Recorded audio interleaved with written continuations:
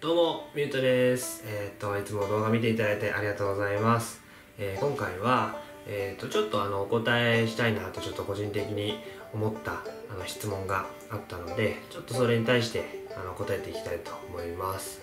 で、えっと、そうですね、質問なんですが、まあ、マンネリ化をしてきちゃってる。練習とかですね、多分練習時間が結構極端に減ってしまってっていううんとお悩みがあると思うんですけど多分結構この方の質問ってダンスをこう続けていくと割となんかぶち当たるんじゃないか。僕も本当に当時当時っていうか今もなんですけどあのぶち当たることが多くてあの調子のねこの上げ下げってやっぱあると思うんですよ。今日調子めっちゃいいなっていう時もあるしなんか全然ダメだなみたいな。昨日良かったのに今日めっちゃダメだなみたいな日も多分あると思うんですよ。でその調子が悪い時が続いちゃってる。ちょっとなんか練習するのもなんかつまんなく感じちゃってるっていう時は基本的に僕は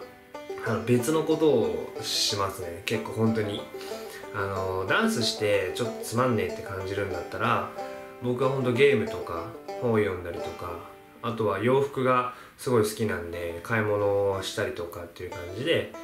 ダンスでストレス溜まっちゃうんだったらそのストレスを解消するなんか違うものをちょっとやってみたりとかっていう感じであの解消をしてます。はい。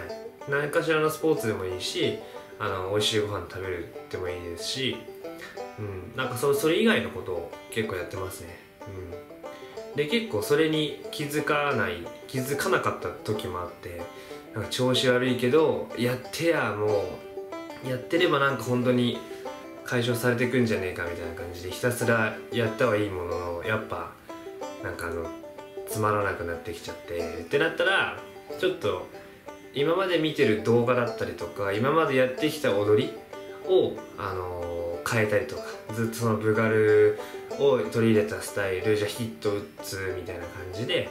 やってたのをじゃあアニメーションでウェーブだけででかつ違う曲みたいな感じで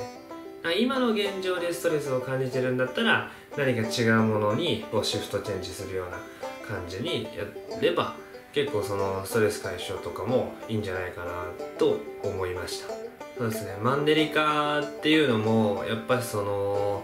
まあダンスの練習する上でマンネリ化っていうのはやっぱ出てきてしまうんですけどなんかその果たしてそれが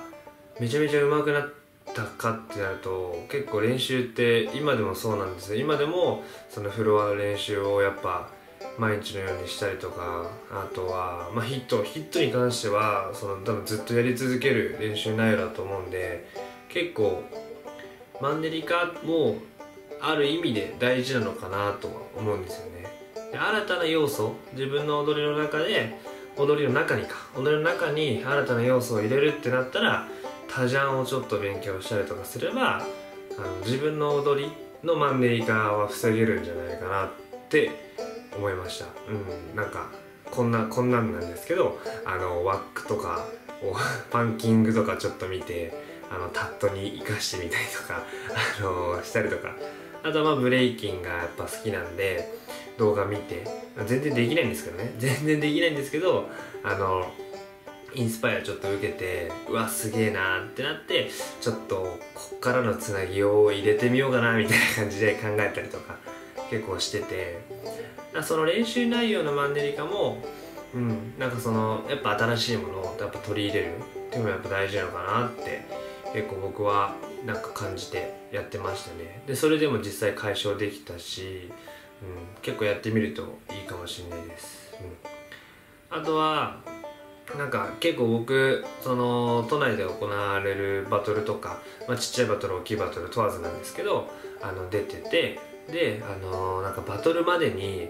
めちゃめちゃ練習して調子を上げるみたいな感じをする方いるんじゃないかなと思うんですけど僕それ結構やめてて最近。あの1週間前ぐらいから練習一切せずにリカバリーにもう専念するようにしててあの夜遅くまで起きないとかあとはなんか3食ちゃんと食べるとかお風呂にちゃんと、まあ、湯船に入って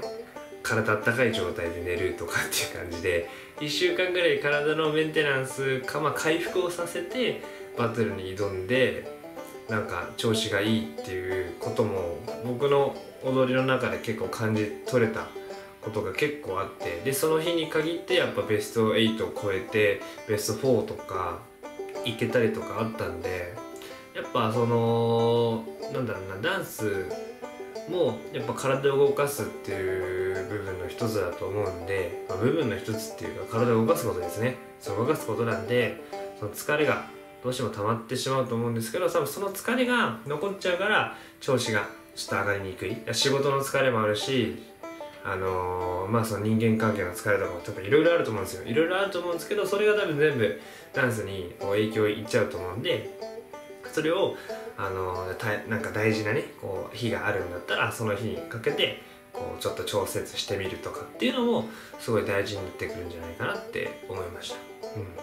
うん、結構そのマンネリ化だったりとかその調子が上がんない、まあ、今日ダメだなっていう日は今日ダメだなって思ったら結構僕そのなんか耐えるのむずなんか苦手なんですよ。結構ダメだなって思ったら今日やんないってなっちゃう人なんであの練習する時間がその減ったとしてもそのなんだろう別にその今まで2時間とか3時間とか練習してて長くても4時間6時間とかね練習してた。だけどいやもう今日30分でいいやってなったら30分で切り上げて残りの時間別のことしてみたいな感じでやってます。もう切り替えが大事なんでもうそうなっちゃったら調子が悪いってことは調子が悪いんでしょうがないみたいな感じでやってます。なんでそのダンスしかそのダンスが好きでダンスかしダンスしかしないっていうのもそのダンスがどんどん悪くなってしまうような要因の一つなのかなと思っちゃうんでもうライフスタイルの中にダンスをやっぱ取り入れた方がその自分のダンスも楽しくなっていくんじゃないかなと思うのでちょっとあの意識してやってみてくれればいいかなと思います。一応この質問をあのぶつけてくれた、まあ、方にはすごい感謝なんですけどやっぱこの多分悩みとかってあの誰しもが多分ぶつかる悩みだったりとか僕も言われるまでに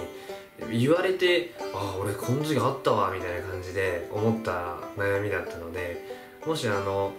本当本当なんか些細な悩みでもいいのでなんかミュートさんどう思いますか？とかミュートさん